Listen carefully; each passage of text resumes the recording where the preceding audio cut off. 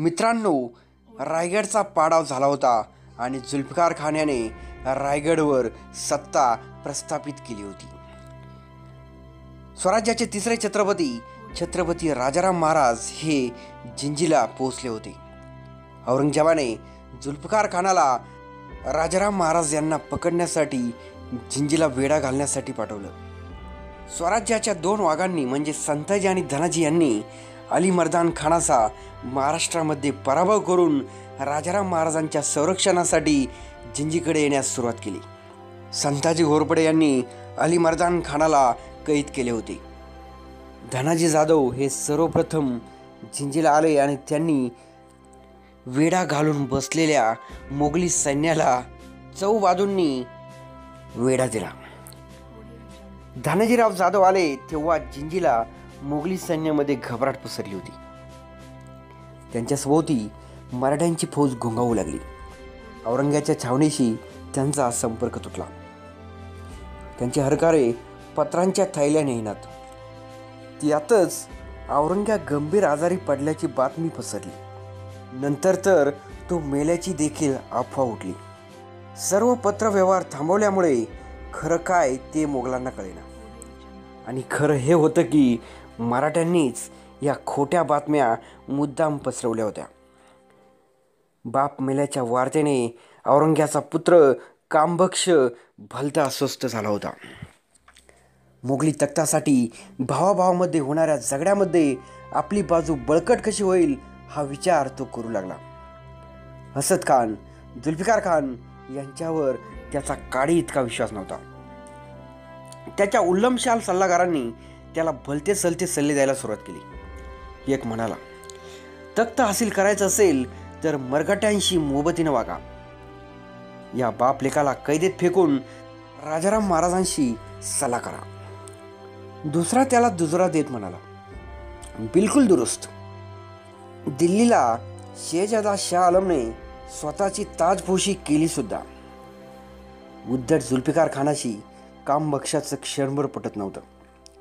आणि त्याच्यासारख्या नादान शेहजादाच्या हाताखाली काम करण्यामध्ये नवाबाला देखील कमीपणा वाटत होता.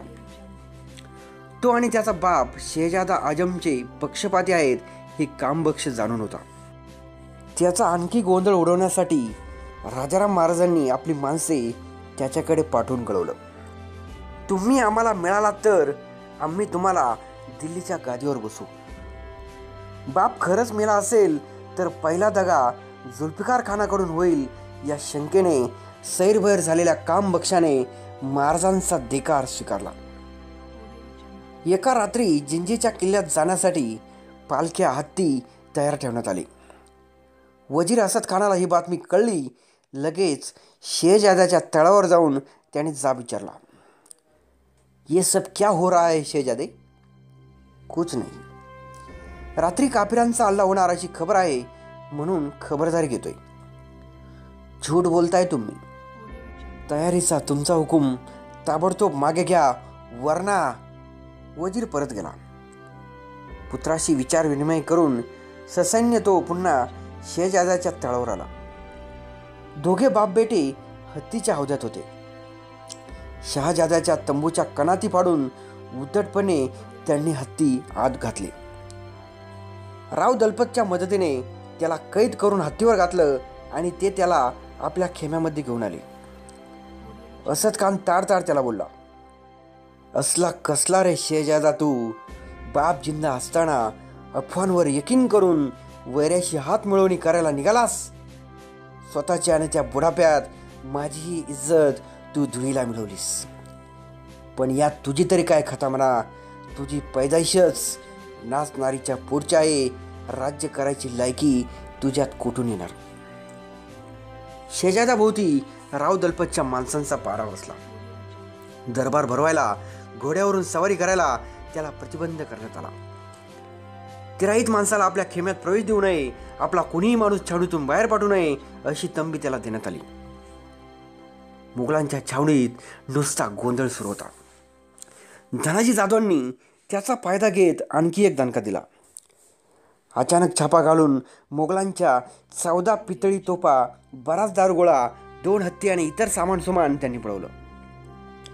तीस हजार मराठा सैन्य यमदूतासारखं जुल्फिकार खानाच्या तळाभोवती घुंगावू लागलं होतं. बुनगे लुटारू हौसेन होसे त्यामध्ये मिसळल्याने ही संख्या लाखाच्या घरात गेली होती. सैन्याला खायला अन्न नव्हतं जनावरांना चारा नव्हता लोक टाचा घासून मरतायत जनावरे झरणीला पडतायत. मराठ्यांचे हल्ले तर रोज सुरू आहेत. नवाब म्हणजे जुल्फिकार खान हताशपणे हे सारं पाहत होता. एकदा तर किल्ल्यातली शिबंदी खुद्द त्याच्यावरच तुटून पडली. अवघ्या दोन हजार स्वारांनीशी जीवाच्या कराराने तो लढला. किल्ल्याच्या दरवाजापर्यंत शिबंदीला त्याने कसं बसं मागे हटवलं त्यामध्ये त्याचे पाचशे सैनिक ठार झाले आठ हत्ती चारशे घोडे मेले. मराठ्यांनी सुद्धा तीनशे स्वार आणि तीन हजार पायदळ गमावलं. किल्ल्याच्या पायथ्याशी प्रेतच प्रेत पडली होती. मोठा विजय मिळाल्याच्या थाटात नवाब म्हणजे जुल्फिकार खान छावणीमध्ये परतला. छावणीमध्ये शहादाने वाजू लागली तेवढ्यात तेवढ्यात कैद केलेल्या अलीमर्दान खानाला घेऊन सेनापती संताजी घोरपडे तिथे येऊन धडकले. आणि मोगलांचा विजयाचा आनंद क्षणात मावळला. आपलं मरण त्यांना दिसू लागलं.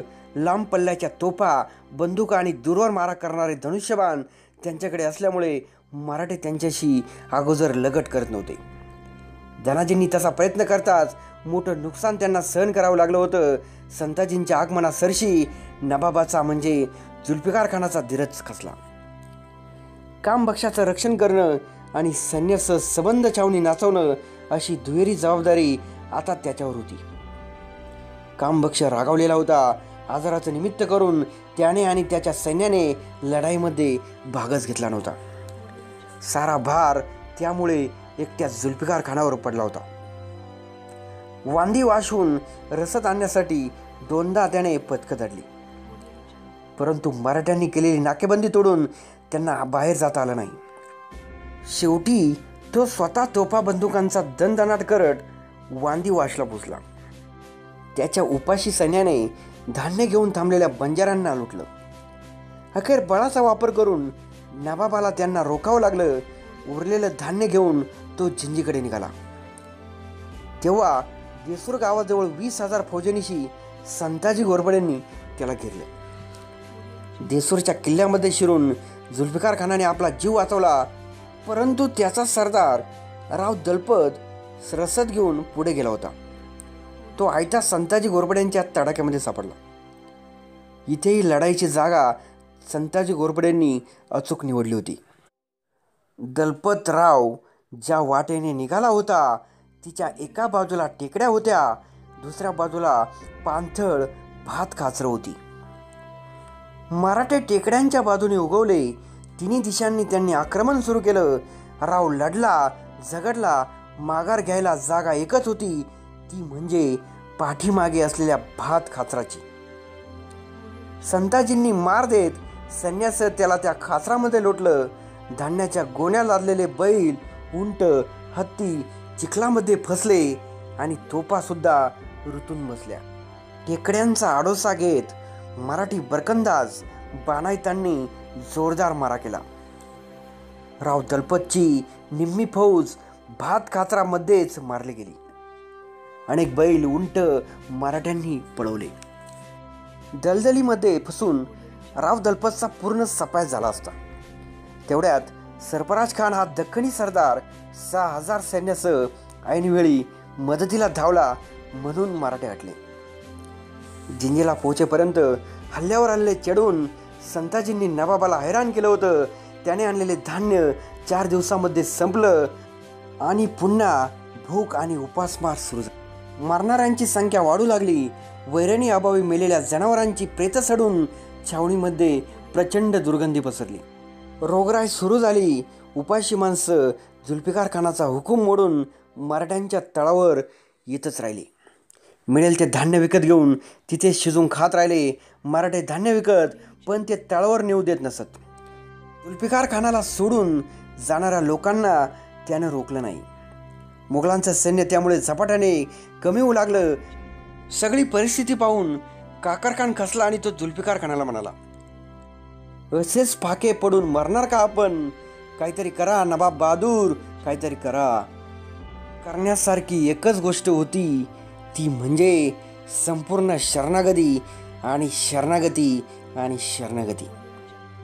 जुल्फिकार खानाच्या मनात तो विचार घोळत होता. वजीर असद खानाला मात्र ते पटेना. आम्ही गाजींनी कापिरांपुढे नाक रगडायचं. बादशांना काय वाटेल? राव दलपतचं देखील तेच मत होतं. आणखी थोडी कळ काढू. बादशाह मदतीची काही ना काही तजवीज करतील. माझ्याकडे चाळीस हजार रुपयांचे जेवरात आहे ते विकू. त्या रकमेतून धान्य आणू. एवढंसं ते धान्य कुणाच्या दातात घालणार तुम्ही? लष्कर खानाने चिडून विचारलं. एक वेळचा काढा होईल बस. हालात की नाजायत को समजे रावजी. तोप खाण्यांचे गोलंदाज तोपा टाकून गेले. शिपाई पळ काढताय. उपाशी फौजेची कापेरांकडून कत्तल व्हावी असं का तुम्हाला वाटतं? तोपखान्यांचे गोलंदाज निघून गेल्याचं कळताच जुल्फिकार खानाने गुडघे टेकले. मी रातीश मोहम्मद मुमीनला त्याने विचारलं गोलंदाजांना तुम्ही जाऊ कसं दिलं आता तोफा कोण चालवणार? हेच मी त्यांना विचारलं तर ते मला मारायला उठले. त्यांचं म्हणणं उपाशी मरण्यापेक्षा वांदी वासला जाऊ. चार घास खाऊन ताकद आली की पुन्हा परतू. काय चुकीचं बोललं ते? नबाब हताशपणे म्हणाला चूक आपल्या तकदिरीची आहे लढाईला हौसला आहे पण अंगामध्ये ताकद नाही. पळून जायला पायात त्राण नाही शरणागतीशिवाय दुसरा कुठलाही उपाय आमच्यापुढे राहिला नाही. मग बापास आपल्या सर्व सरदारांकडे दिनवाण्या नजरेने पाहत जुल्फिकार खानाने विचारले आपले हे हालात आणि हकीकत बादशाह समजून घेतील? करतील ते माप आपल्याला? या प्रश्नाचं कोण काय उत्तर देणार? पराभवाला बादशाहकडे क्षमा नाही हे ते जाणून होते. अखेरची बाजी हरल्यासारखा नवाब म्हणजे जुल्फिकार खान तंबूतून बाहेर पडला. त्याचे खांदे पडले होते. चेहरा शर्मेने काळवंडला होता. पायात मनामनाच्या बेड्या घातल्यासारखा तो चालत होता. दोन वर्षाहून अधिक काळ जिंजीच्या खड्या पाषाणाशी उभी झुंज घेतलेला तो झुंजार सेनापती आज किती केविलवाना दिसत होता. दुपारी हाती पांढरा निशाण घेऊन मुघलांचा वकील रणरणत्या उन्हामध्ये राजगिरी किल्ल्याचा चढ चढू लागला. आणि गडावर नौबती वाजल्या बुरुजांवरून तोपा धडाडल्या बालेकिल्ल्याच्या नगारखान्यावर निशान काठीला लावलेला भगवा झेंडा जोराने फडफडू लागला. आणि अशा प्रकारे मराठ्यांनी रायगडचा पाडावाचा बदला घेतला आणि जुल्फिकार खानाला गुडघे टेकायला भाग पाडले. मित्रांनो तुम्हाला व्हिडिओ कसा वाटला ते आम्हाला नक्कीच कळवा आणि आवडल्यास आमचे राजमुद्रा चॅनल नक्कीच सबस्क्राईब करा. जय जिजाऊ जय शिवराय जय शंभूराजे.